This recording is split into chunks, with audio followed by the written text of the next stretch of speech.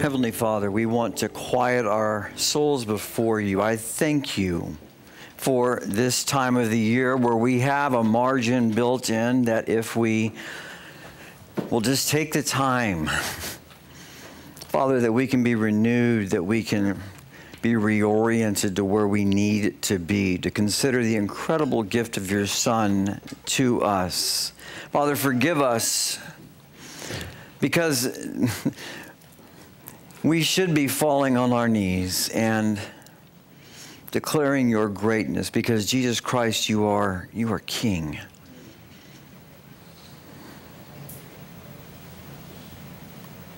Lord, I ask and pray that as we look at your word, as we enter this season,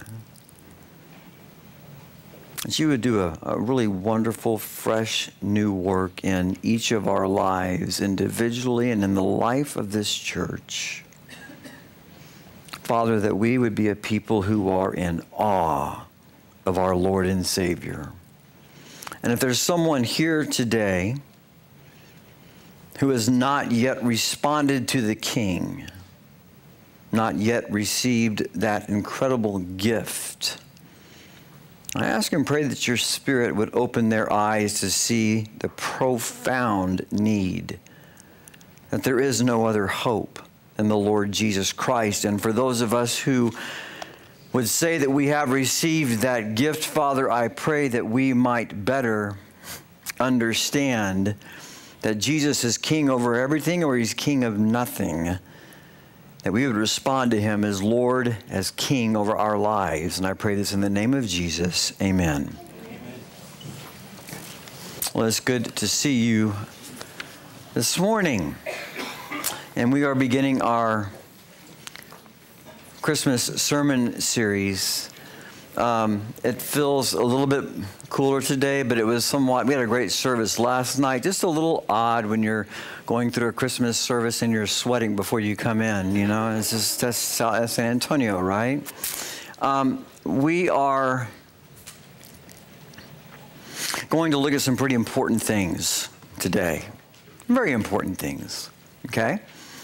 And I want to encourage you because the challenge I think during a Christmas season is, is that for many people it will be like uh, the idea that I've heard so many of these Christmas texts before, that kind of a thing. It's like, well, I, have heard this, I've heard that, and the familiarity with it all um, sometimes causes us to. Um, kind of go through the motions when I think that what we profoundly need is to be awakened we think of Christmas and we think of that child in the manger, right? That's one of the images. Are you awake? Okay, just want to make sure. The child in the manger. And, and then when, when, what's interesting to me is that when we talk about the Lord Jesus Christ, if you are a Christian and if you have grown up studying and you know your scriptures, you know that he is fully God, fully man as he walks this earth, right? And this is fully God, fully man. And so the thing that is a challenge for many people is the idea of, of, of which side. Sometimes they, tend to, to, gravitate towards one, either the point focusing on his divinity so much that they can't understand that he truly did experience all that we did experience as humans. He knew what it was like to be hungry, tired, and weak and tempted. Or the other extreme, in which the focus is so much on the humanity that they, they, they, they forget just who this is we are talking about the Son of God. Okay, God the Son. And I think that, that in our current climate, that's really the big thing that, that, I guess the error, which so many Christians and, and churches have, have kind of swung towards, and I'll, and I'll show it to you this way. It's not just the baby in the manger, and we think of that. That is warm, it's a beautiful, and that is a, a, a heartwarming, fuzzy thought, right? It's amazing. And then you look at Jesus in the Gospels and you start to think about how we, we, we view Jesus in our culture. And we've talked about before, he's kind of the, um, the willowy 60s, gentle, you know, little guy or whatever. So almost, it seems, we have this unusual idea in which. Um, that child in the manger, we, just, we don't stop to think who it is we're dealing with. Okay? So we're going to take a look at a passage today that was written some 725 years before Christ is born, not created, before he enters into our human condition, born of a virgin, okay? Written some 725 years beforehand that describes who he is, what he is like. And today I will simply say this there is a king that we must bow to, there is a gift that we must receive. And one of the great, great needs in our churches today in our country today, amongst those who profess the name of Jesus, is to stop treating Jesus like he's some kind of a personal assistant and to start acknowledging him as king and as sovereign ruler over all. Okay. I'll try to wind down because I'm going to get amped up a few other times, okay? this is a heads up. Because I get really excited about what we're looking at today. And I pray, I pray you do too. This is serious business. You see, the challenge, I think, that with this little image that we have sometime of, uh, of Christ in which we, we consider the, the small child in the manger, which is amazing when you consider this is God the Son. All the way to the hippie Jesus, who's pretty harmless and benign, is that we have a Jesus who's very manageable. He's not much of a threat to us. You might say, well, Jesus isn't supposed to be threatening. Well, I will submit to you that yes, he does in this way. As King of Kings and Lord of Lords, I don't tell him what to do. I don't give him terms. The king is the one who gives terms. Does that make sense?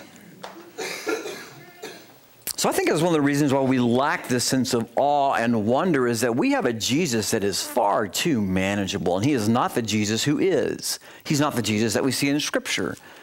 And so we find ourselves lacking all sorts of things from peace, joy, wonder, awe, reverence. Because you know, this is Jesus. Well, let's see if we can address again who it is that we are looking at and who we're talking about. Isaiah 9, 6, and 7. Isaiah speaks of the coming Messiah. Now, there are many prophecies of the Lord Jesus Christ in the Old Testament, going back all the way to Genesis chapter 3, from the moment that we first rebelled. Isaiah has much to say about him. And you can just write this down and look this up on your own time. If you have any questions, if you're a, uh, in that category of a skeptic and what you're saying, I don't know if I believe all of these things about Jesus. 725 years before he is walking the face of this earth, Isaiah writes about him. Write down Isaiah 53, just read through that. And then I want you to consider when you read that what are the statistical probabilities or even possibilities, if it's even possible, that someone could write in such perfect detail about someone's life exactly, exactly as Isaiah did. So now he gives us a snapshot of who it is we're talking about. There's a gift to be received today. If you have not received that gift of the Lord Jesus Christ, today is the day. And there's a king to bow your knees to today.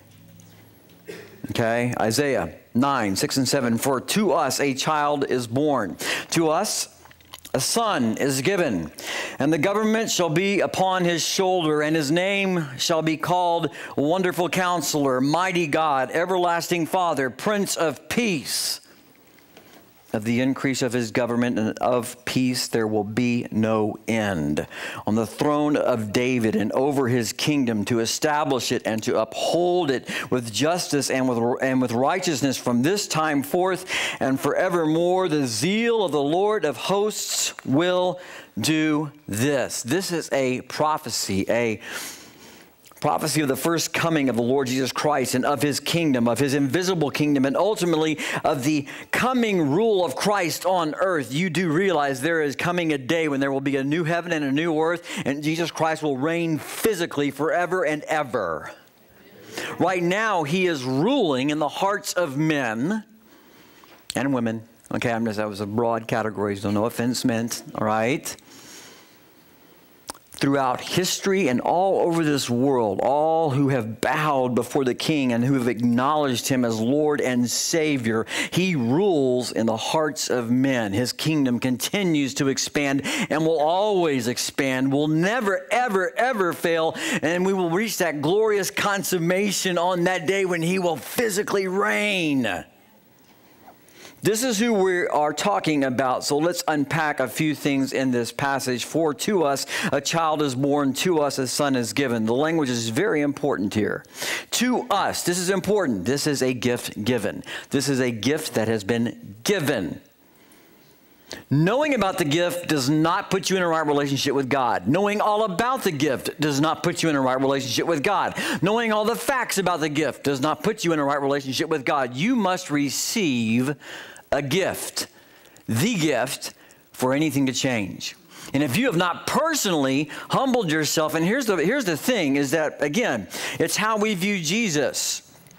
You do not see Jesus anywhere in Scripture walking around saying, gee, again, we've talked about this. I hope you'll like me, and, and I just really want you to be nice and this, you know, let me uh, be your, your, your, your friend, that kind of a thing. He is king. So when he walks through the Gospels, you see him saying things, take up your cross and follow me. You get up and go. That kind of a thing. And so you don't see him saying, you know, well, let's negotiate our terms. His terms are simple. I am the way, the truth, and the life. No man comes to the Father except through me. The king says that. Okay? That's who we're talking about. So to receive this gift means that I repent of my sin, that I recognize that I am a wretch who cannot save myself, that I throw myself at his mercy, and I receive that gift of grace. It's not me doing him a favor by saying, "Yeah, I, you know, I prayed the prayer." Oh no. If that's, and that's where a lot of your testimonies, if, if, that's, if that's where it is, if that's your testimony, I prayed the prayer. Well, what else? What, what, what's, this is, this is a scary thing. I've seen it in churches all over the place over the years. For a lot of people, that's their testimony. That's it. What's he doing in your life now? How are you growing? How is he changing you? How are you learning how to trust in him? How are you worshiping the king? How are you following him? And just blank stares. I, I prayed the prayer. Nowhere in Scripture will you find the little magical prayer. I hate to break it to you. This is an exchange of your life for His. So, again, if you've not come to the King on His terms, you need to do that. If you're trusting in something that you just uttered and had no effect on you, it's not like Jesus said, Wow, he knew the magic words. Even though he really didn't mean it, he said it, so I'm stuck with him.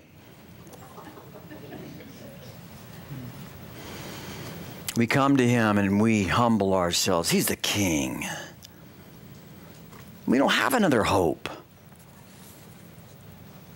to us. This is a gift that is given, and you must respond to the gift. The Son is given. From eternity past, it's the plan of God. God the Father to give the gift of God the Son to sinful humanity, to his rebellious creation, to we who have sinned and run astray, to all of us who have offended the Most High God. God pursues us and gives the gift of his Son. Now, let me ask you this. I asked it last night and I was kind of tripping because I thought, wow, y'all are a lot better than me. I had like three or four people that raised their hands, and I was like, okay, I've never done that. How many of you love to give gifts to people who hate you? No, I'm going to call you up on that. I'm going to talk to your parents and find out exactly who hates you and see if you give them a gift this Christmas, Mike. I'm going to call you on someone who has offended you, who hates you, who goes out of their way, let's, let's up the ante, who goes out of their way to make everything an offense against you personally, who wants nothing to do with you. Okay? This is who we are to our Father. All of we like sheep have gone astray. For all have sinned and fallen short of the glory of God, and there is no one who seeks after God. No one. There is no one righteous, no, not one. Romans chapter 3. Read the whole thing. That's who we are. And yet God says, I'm going to pursue my creation. That's amazing. And He doesn't just give a gift, He gives the very best that heaven could possibly offer. the son willingly coming. So we see here the word son. It's used in this text to show the relationship between father and son. So the gift that is given, and a gift that we do not deserve. We don't deserve this gift. You see, when we have that mindset and we understand that I in no way deserve this, what I deserve is judgment. I deserve God's justice. That's what I deserve. And so do you. And yet, God gives a gift, the very best gift. God the Son, the eternal God the Son, leaves the glories of heaven and enters into our human condition.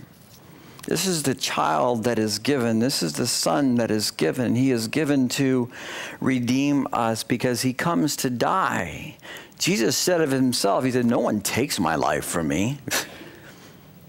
So I willingly lay it down. I've come to give my life as a ransom for many. Jesus comes to die. And we have talked about this uh, every time that we go through the Christmas season for a reason.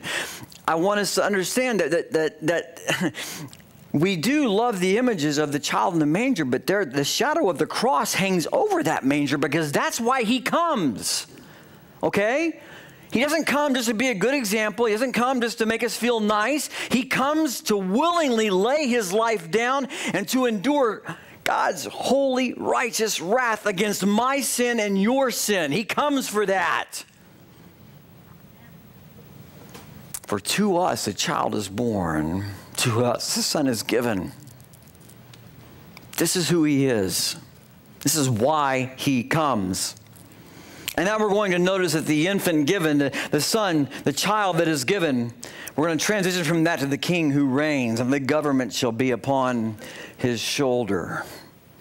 Jesus Christ, King of Kings and Lord of Lords. His reign, as we have spoken about, uh, has been throughout history, is all over the world right now, globally, individually, person by person by person. He is still saving. People are still bowing their knees. People are still crying out for mercy. And the Lord Jesus is redeeming and saving people unto himself from every nation, tribe, and tongue. He is building his kingdom the government of the entire world also rests upon him. Guess what? Jesus is in charge of everything. This son that we're talking about, this child in the manger, he reigns over all things.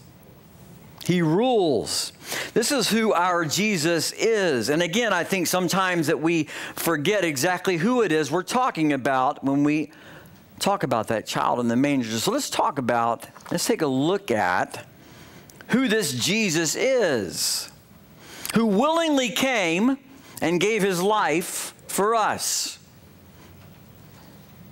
We're going to take a look at a few things about what, or said, what things said about Jesus from Jesus, his own words, from Paul, and from John the Revelator, the Apostle John.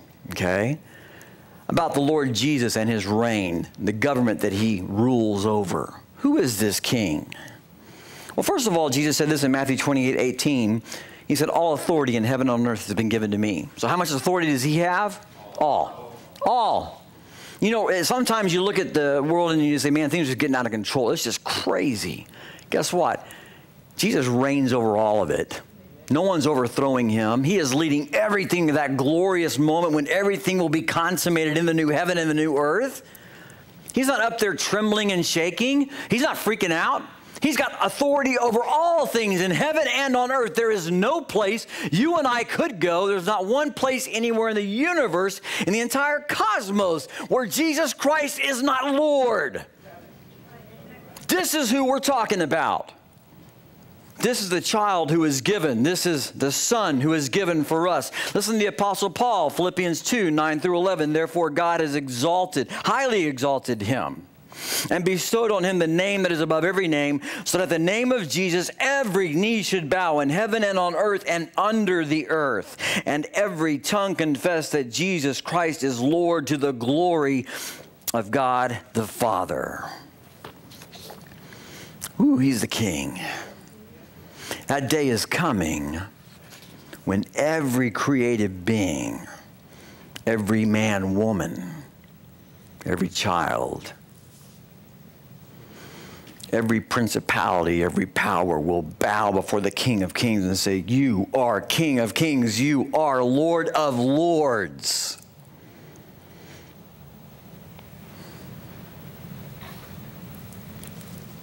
The sad thing is, for most, I didn't say many, but for most, that moment's going to be too late. Because what did Jesus say? He talked about a, remember the, the wide road? Remember the narrow road?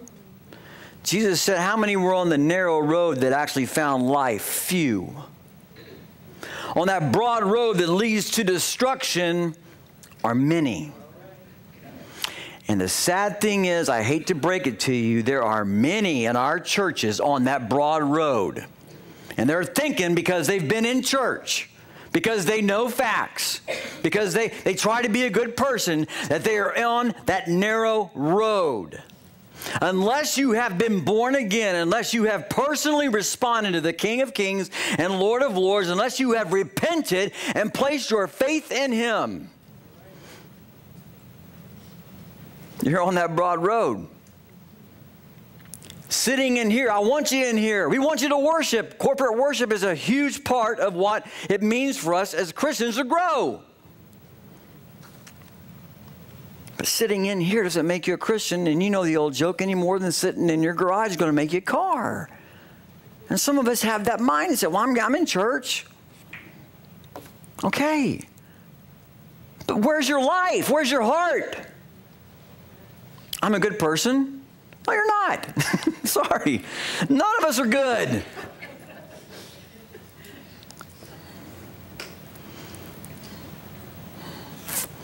There is a gift that's been given that must be received. There's a king that must be acknowledged. And he reigns over everything. I don't know when this started, but there's some people that kind of live their lives this way. I, I, I think, and I, I, told them last night, and I think they concurred, so maybe you'll concur. Maybe if I'm wrong, we'll talk, you know, whatever. But I think it started with George W. Bush when he was elected. Remember the hotly contested election results after George W. Bush was elected? Remember that? All that stuff. And so he started this, there was a movement that started. And you see bumper stickers, not my president. Remember those? That continued through out George Bush's term. It continued throughout Barack Obama's term, and it continues now. So now this is a thing, right? And it's a way for someone to go, yeah, I'm sticking it to the man, resist, so on and so forth. Okay, guess what? I hate to break it if you're one of those persons, but your failure to acknowledge whoever the president is does not change the objective fact that person is still the president. Right? A lot of people live their lives of Jesus that way. They might even know some things about it and they read about it and it's like, well, that's no, I'm not, I'm not doing that. I'm not going to respond to him that way. Or you find some people who's like, you know what, that's not my, it's not my God. Uh-uh. And then you find the atheist, and I've heard this I don't know how many times. You, you talk to people, it's like, yeah, well, you know what? If there is a God and I stand before him, I'm just gonna I'm gonna ask him questions. I'm gonna this, that, and the other. Why'd you do this? And why'd you allow cancer? And why'd you allow so on and so forth? No, no, you won't you will be in such holy fear pleading for your life, and it will be too late. He is King of Kings and Lord of Lords, whether you and I acknowledge it or not. Okay? Jesus is not running around saying, gee, okay, well, I, you know, if they my approval rating is not so good, so I'm not so much the king right now. No, he always reigns. So the question is, how are we responding to the king? have you responded to the king? Who are we talking about? This is the one who has the government resting on his shoulders. All authority is his. One day every knee will bow, every tongue will confess that Jesus Christ is King of kings and Lord of lords. And then one of my favorite texts. Again, this is that same child in the manger because we have that bizarre idea. Sometimes I think that, like, Jesus from eternity past, God the Son, really amazing. Jesus, uh, after he ascends to heaven, really amazing. And Jesus, the child in the manger, is just, you know, just kind of a willowy whatever, and he's not still fully God, and so on and so forth. He's, he's, he's just fully man. No, he's still fully God, fully human, but still fully God. So this is the same Jesus in the manger, and this is going to trip you out. This is one of my favorite passages, and we'll preach on it sometime. But most people don't like it because it kind of freaks them out and scares them but that's okay. We need a view of Jesus that is accurate. This is who we're talking about. So, Revelation, listen to the Apostle uh, John, Revelation 19. This is the same child in the manger. Okay? The same one that some of us think that we're going to manage. I don't have to respond to him. I'll do things my way. Okay, let's, let's talk about the one who's going to come back, the one who reigns over all things when he comes back. Then I saw heaven open, and behold, a white horse, and the one sitting on it is called Faithful and True, and in righteousness he judges and makes war. Some of us don't, but Jesus makes what? His eyes are like a flame of fire, and on his head are many diadems, and he has a name written that no one knows but himself. And he is clothed in a robe dipped in blood. And the name by which he is called is the Word of God. And the armies of heaven, arrayed in fine linen, white and pure, were following him on white horses. And from his mouth comes a sharp sword with which to strike down the nations. And he will rule them with a rod of iron. He will tread the winepress of the fury of the wrath of God the Almighty. And on his robe and on his thigh, he has a name written King of Kings and Lord of Lords. That's that child in the manger. That's our king. That's the one who has the government on his shoulders. He never will not reign. He reigns right now. So I will just, I will plead with you in all love, if you have not yet bowed, if you're not, I'm saying you are king. I need you. I can't save myself. I can't do anything for myself. Lord, I, I, I, I, need you. If you've not done that, I plead with you to please respond to the king. Do so before it's too late. Okay? And then for those of us who say again that we are Christians, oh yes, yes, yes, yes, I, I am a Christian, and uh, I do. I, maybe maybe you do more than just you know you come to church, you come to church, and you uh, you have daily devotions, so on and so forth. Let me ask you a question: If He is King of Kings and if He is Lord of Lords, and if He reigns over all things, then that means that He should be the one who reigns over our daily life right now, right?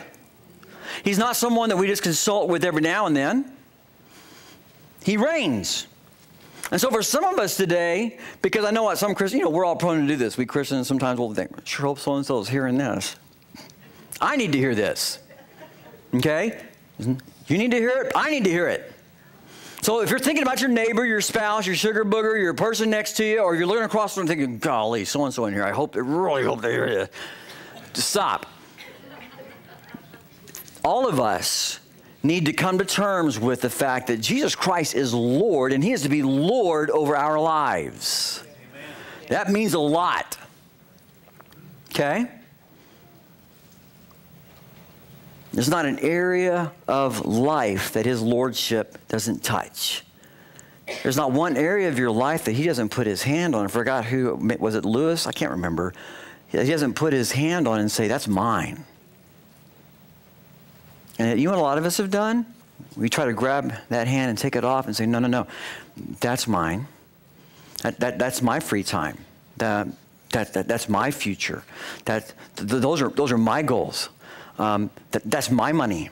That's, that's, that's, that's my, my, my stuff. You see, what, you see what I'm saying, right? It's not treating him like king.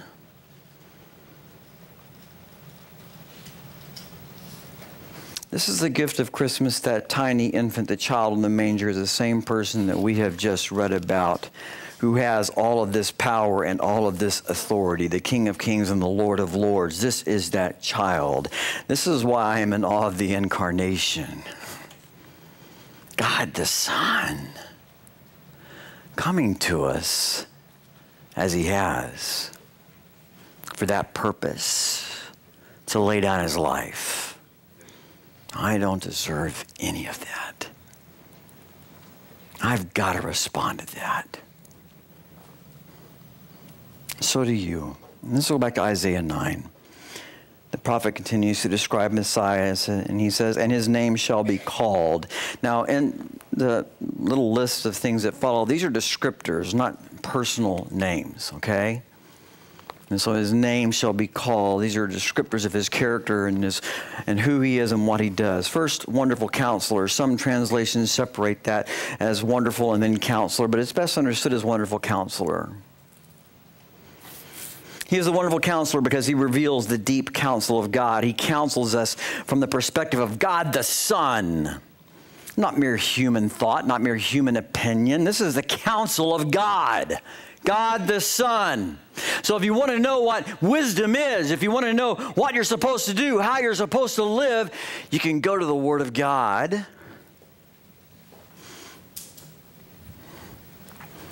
And receive wonderful counsel. He is our wonderful counsel. These are the words of God. And yes, that refers to God the Son too. Colossians 3:16, Paul goes so far as to say, let the word of Christ dwell richly within you. We need his word. And one of the great concerns we have again, professing Christians, oh, yes, I love Jesus and he's my Lord and Savior, but I never do talk to him. I don't listen to him. I mean, I don't read anything. I, I don't let him speak to me. What higher privilege is there than to be in relationship with the King and to be able to, to read his word? That's amazing. He's wonderful counselor. If any of you lacks wisdom, let him ask of God who gives to all liberally and without reproach. That's why James says. We can go to our king for wisdom, for counsel. You can walk right in, not because of who you are, not because of who I am, not because of our inherent righteousness, but because of the righteousness of Christ. We can walk into the throne room of grace and receive help in our time of need. We can ask for wisdom. We can ask, we, can ask the Lord to grant us the wisdom that we don't have. Lord, what do I do? He's spoken through His Word. He speaks through His Spirit. The Lord is an amazing King. And here's again the test. If you say you're a Christian, and, we all, hey, I freak out sometimes too, right? I mean, we all do. We, we all have moments where we kind of forget who's on his throne and we freak out. But here's a concern there are a lot of professing Christians who are running around like chicken little continually. That's all they do. Oh dear, what are we going to do? Oh, I don't know what we're going to Oh my, oh my, oh my. He's king. You belong to him. He's not going to forsake you, he's not going to leave you. He promised to take care of all your needs. He said he's never going to let you go. He's going to complete the work that he began in you. He's going to actually bring you home to him. There's no one that can separate you from his love. There's nothing that you will ever go through that's too great for him. There's not one challenge you will face or we will face as a church that God looks at the Son of God and says, ay, ay, ay, ay, ay, what do I do? No, no. You see, I think a lot of us are freaked out and we don't have peace and we don't have that sense of confidence in Him because we don't know Him. We know stuff about Him, but that relationship is not there. He is wonderful counselor. He is mighty God. This is an incredible statement about Messiah. This is God the Son, not just prophet, priest, and king, not just a, an incredible man. This is God the Son. That's who we are talking about in the manger, the one who will come to willingly lay his life down for us. The mighty God, the all powerful God the Son. All powerful. Nothing impossible for him. We affirm it here, but do we believe it here? Are we able to rest? To you reign. You are mighty. And I'm going to praise you for that. I'm going to rejoice in that.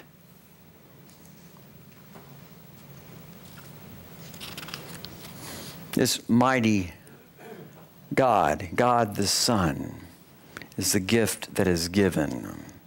God demonstrates his love for us in this while we were yet sinners, Christ died for us the gift comes to die, God on a cross.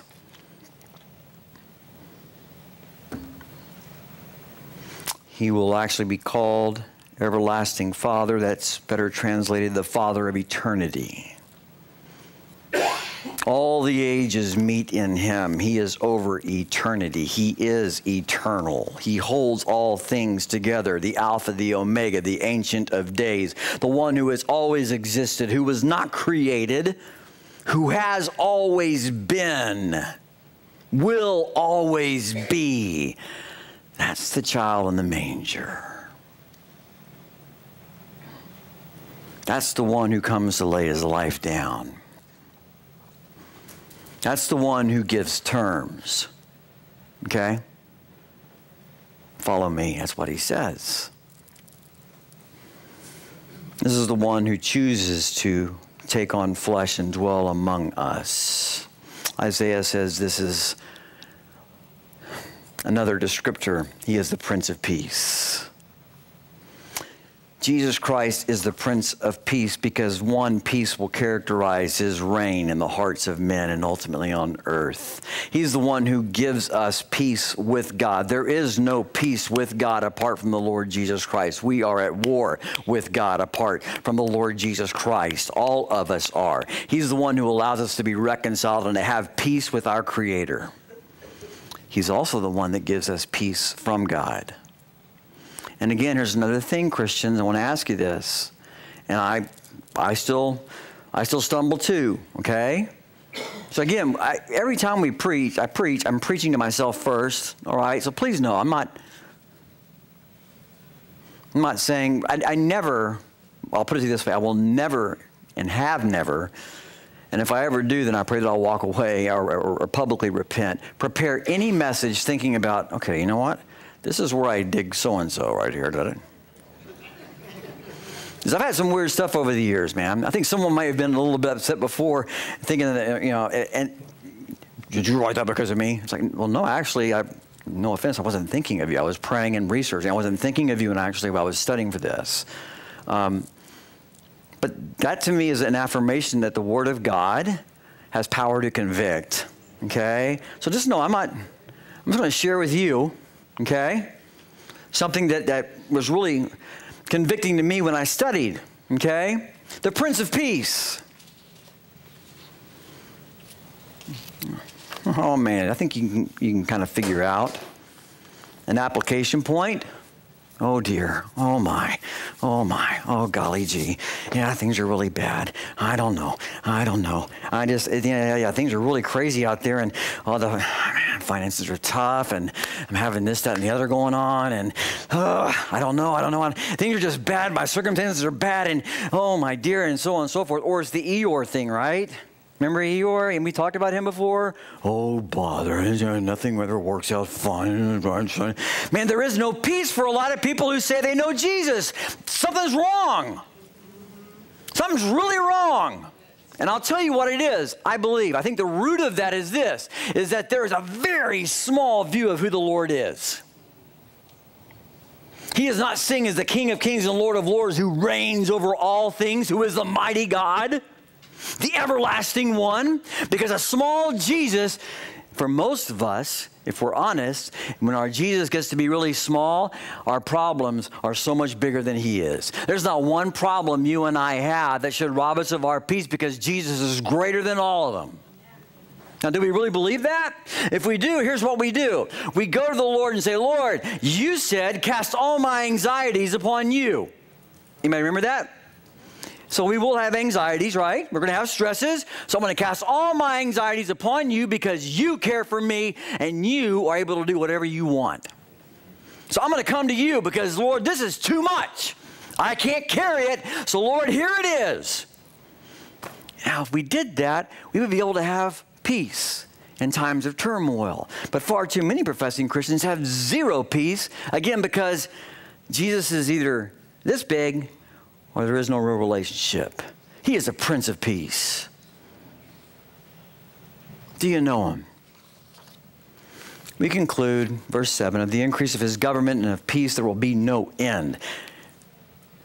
His kingdom will never stop, it will never cease, it will always continue to advance. No one is going to stop God's plan. That's pretty powerful. There will be no end on the throne of David and over his kingdom to establish and uphold it. This is from the line of David. Jesus is from the line of David as prophesied, and he will reign forever and ever. It says here to establish and to uphold it with justice and righteousness from this time forth and evermore. The zeal of the Lord of hosts will do this. The zeal of the Lord God. The zeal of the Lord God will accomplish his purposes. His purposes will never fail, they cannot fail.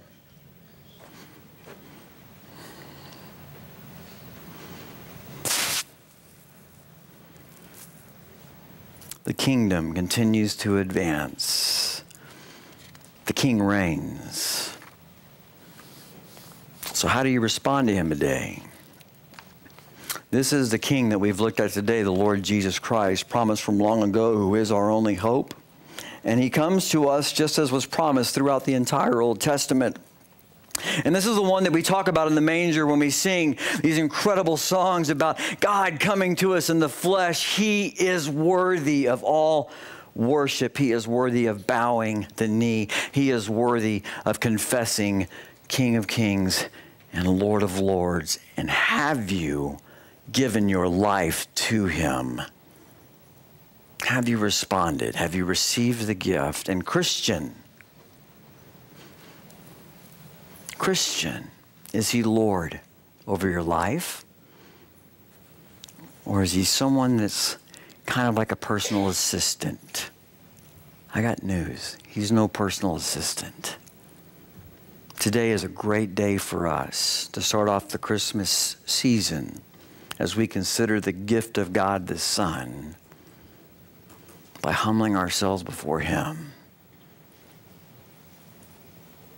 worshiping Him, responding to Him. All of us.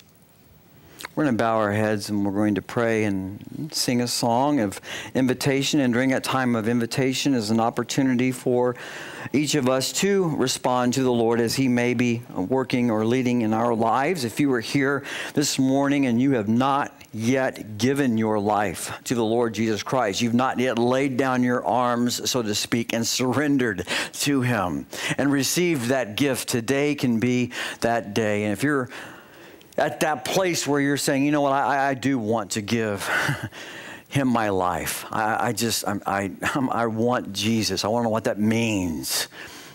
Please come forward and we'll pray. We'll set up a time to meet. We'll, we'll, we'll, we'll walk through all of that. If you're looking for a church home and you believe this is where the Lord wants you to be, and you want to be on journey and mission with this church community, then please come forward and say, Yeah, we want to join with the church here, and we'll set up a time to talk about that as well. Yet others of us may just want to come forward and pray here and worship the King. Maybe some of us need to lay some things down and just say, Lord, I want to leave this with you and walk out of here knowing that I've left them with you. However, you need to respond, let's just do that today. Heavenly Father, I want to thank you for the gift of your Son. Lord, you did not give us anything but the absolute best and what we absolutely did not deserve in giving your Son. He reigns over all things. And Lord, I ask and pray that each of us would respond to the King as he is worthy of being responded to. I pray this in the name of Jesus. Amen.